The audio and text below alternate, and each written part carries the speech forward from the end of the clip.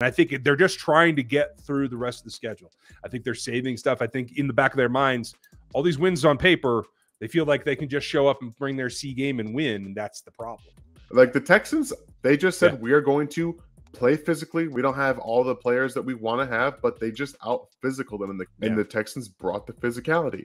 And the Chiefs, you know, they had some response, but they were still, the Texans were still hitting them in third and the fourth quarter. They were still being physical. And that's something that you're going to probably see going into the postseason. Teams thinking the Chiefs are just soft. That's going to be a theme. But, yeah. And then they got to prove it wrong. Yeah.